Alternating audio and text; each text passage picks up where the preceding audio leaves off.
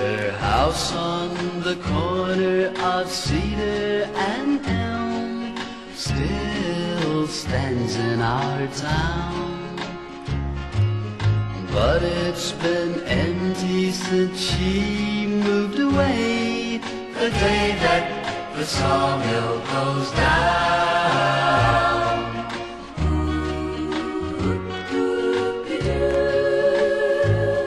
We'd sit on her almost every night. I remember how happy we were.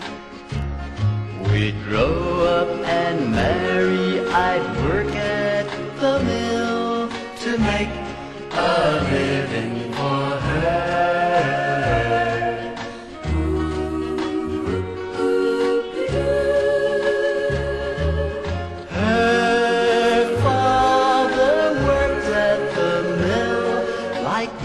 of the others in town.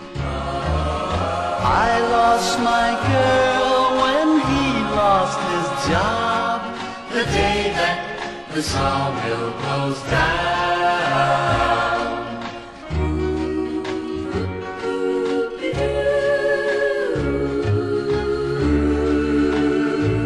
She moved from the corner of Cedar and Elm.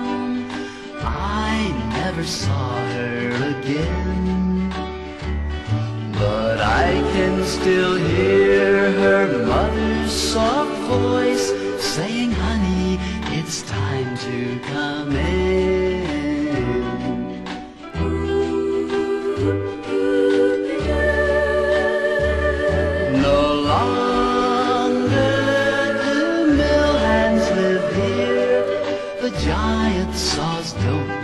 sound.